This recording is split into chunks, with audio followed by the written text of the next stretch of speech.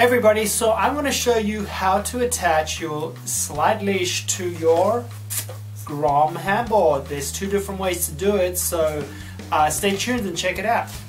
Uh, now I've already showed you how to attach your GoPro to the front of your board or to anywhere on your board.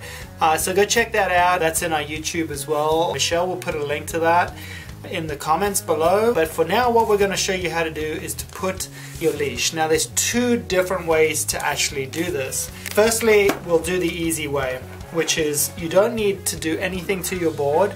It's just a simple attachment and what we have is a bicep leash. So the bicep leash simply fits like that onto your arm and the other end, this end, will fit somewhere on this board. Now I'm going to show you exactly how to fit that on.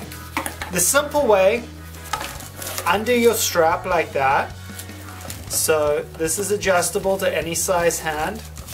You just fit it in like that. I like to keep it down there.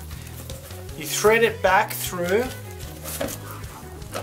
and then voila! Your leash is attached to your board.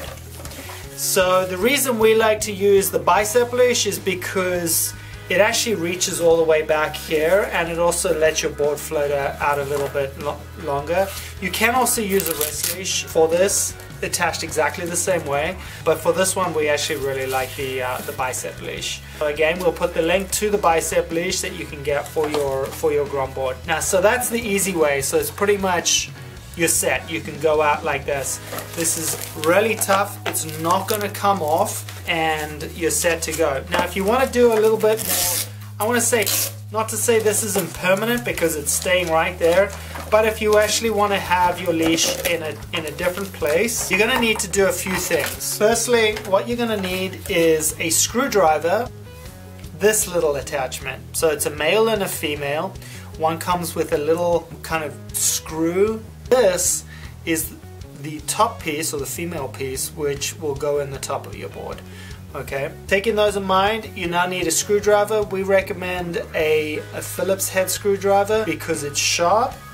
Now what you want to do is you want to you want to find a point on your board that you feel that you want your your leash to attach to okay because what we're going to do is we're going to puncture a hole straight through this through the other side we're going to attach that like such and screw it in through the board. As you can imagine, that's a pretty permanent fixture. Don't worry about the board sucking in water. This is a closed cell foam. As you can see, it's actually, these little pieces of foam are all basically waterproof. This already happens, if you can see over here, with your GoPro mount and also with that. So you actually have one, two, three holes in it already. So in short, don't worry about it. So what you want to do is, on our high-end boards, you have the um, the leash plug is actually situated on the left hand side. You can either choose left or right. Honestly, it's just a preference. If you,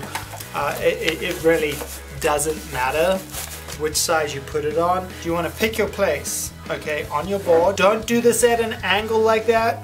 Be very careful about putting the screwdriver in straight. And then what you want to do is just shove it in. It actually comes in really easily. And then before you get to the bottom, you can see the way that it's actually kind of probing through there. Don't go all the way through. These boards are heat welded together, they're not glued. Even that being said, what, what's going to happen is there's a chance that you could rip the, this bottom HDPE material from the foam core and you don't want that to happen. So now you've got your your little protrusion, you know where your, your screwdriver is, you just take it like that and you twist it around. Just be careful of your hand on the other side and also kids if you're doing this please ask a parent. Don't use a screwdriver, jab yourself. So then you take that end and you just shove it in like that. Boom. So as you can see, you've just got to kind of marry them up a little bit. In fact, it's sometimes easier just to do the bottom and then connect the top like that. And you just, at some point, you're going to get a connection I hope I get, yep, there you go. And basically this is going to be too long. So what you want to do is then take a pair of pliers like such and you just screw it in like that. Cut it, sorry, not screw it. Yeah.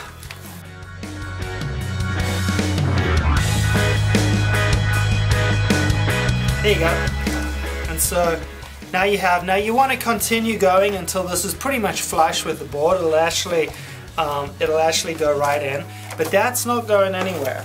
And that, you want to take your cord for the end of your leash like such. You want to just take it from one side, see how this is like a ridge over here. You just feed it in underneath like this. This is where it's pretty much the same as any other leash that you're going to attach. So what you want to do, see the way that I've just wrapped it around like that, pull it all the way through so that you've got some, some room to work with with these two ends. You just take it, and I believe it's called a granny knot or something along those lines, and you just, together, you just fold them in like that, make that thing, and just this material is designed specifically, I think it's a, um, a nylon of some sort that is really when you know it's unlike those shoelaces that kind of untie really quickly these don't right? So that ties up really quickly like that.